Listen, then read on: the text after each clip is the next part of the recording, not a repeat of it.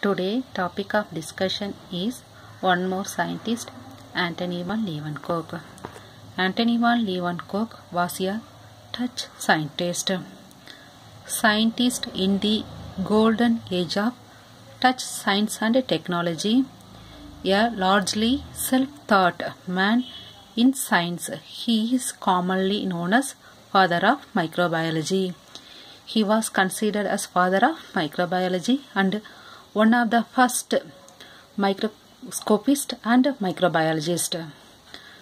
Coming to his contribution, he first to saw and describe single-celled organism. He named it as animalcules. Later, we refer that one is microorganism. He was first record microscopic observation of muscle fibers, bacteria, sperm and blood flow in small blood vessels. He discovered blood cells and microscopic nematodes, protozoa in rain, water, pond water and well water. Then spermatozoa, sperms of insect, dog and humans and studied the structure of wood and crystals. These observations laid the foundation for the science of plant anatomy, bacteriology, protozoology, and become an expert on animal reproduction. Microscope in comparison to modern microscope, Leeuwenhoek microscope design was extremely simple. His microscope design was very simple. It was only 3 to 4 inch long, inches long and had to be held up close to eyes.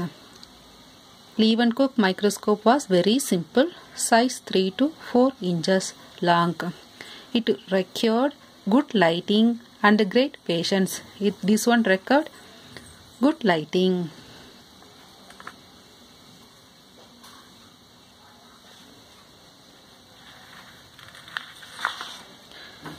He used these lenses to construct very simple looking microscope which held hardly any similarity with the present day microscope.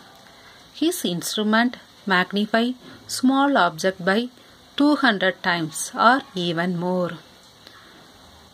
This uh, his object magnify small object by 200 times whereas compound microscope magnify small object by 20 or 30 times. He also made over 500 microscope to view specific object.